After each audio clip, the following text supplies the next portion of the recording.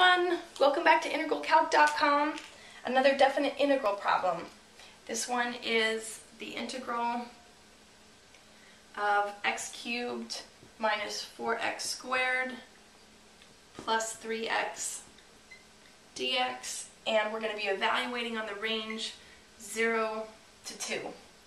So as always with definite integral problems, two steps, the first of which is to take the integral, the second of which is to evaluate on the range 0 to 2. So first we're taking the integral, and let's go ahead and do that now. Um, we're going to add 1 to the exponent, so 3 plus 1 is 4. Um, and then we divide the coefficient, which is an implied 1, by the new exponent, 4.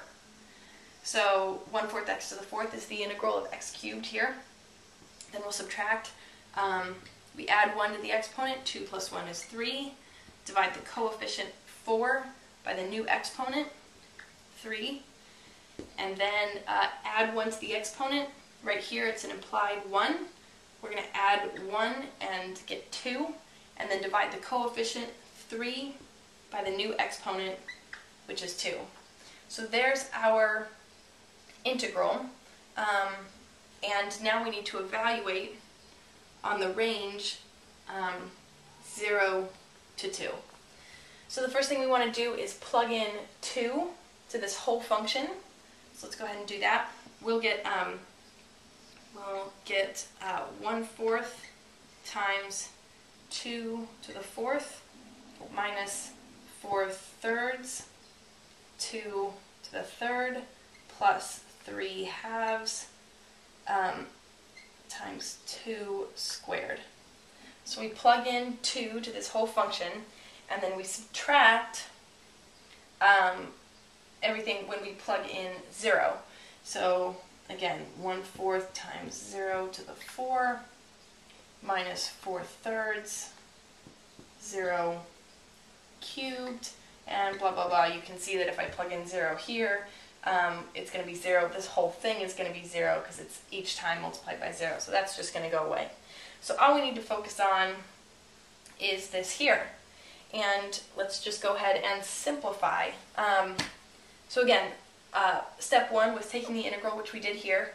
And step 2 was evaluating on the range 0 to 2, which we did. We plug in 2 first, and we always uh, put a minus sign, and then plug in the bottom number, which in this case was 0, that whole thing's going to cancel because um, because it's just multiplied by 0. But here, to simplify, let's see, um, 2 to the fourth we have here. So that's going to be, 2 to the fourth is uh, 16. So we have 16, and then we have divided by 4. And then uh, 2 cubed is 8, so we have minus, um, 4 thirds times 8 and then uh, 3 halves, and then 2 squared is 4. So we have plus 3 halves times 4. So um, 16 over 4 is 4. Um, 4 times 8 is 32, so minus 32 thirds. And then 3 times 4 is 12, so plus 12 over 2, which is actually going to simplify. 12 over 2 is just 6. So we have 6 here. Um, so I'm going to go ahead and um, multiply everything by 3 so we can have a common denominator. So I'm going to um, put this over 3, but in order to do that, I need to make this 12, right? Because it was 4, so um, 12 over 3 is the same thing as 4.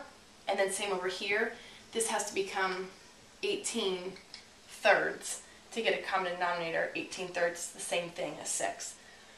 So now we have uh, 12 minus 32 plus 18, which is negative 2. So the numerator simplifies to negative 2, and since we have a common denominator with 3 on the bottom of each of these, um, we can put 3 on the bottom. And our final answer is negative 2 thirds. Thanks guys, see you next time.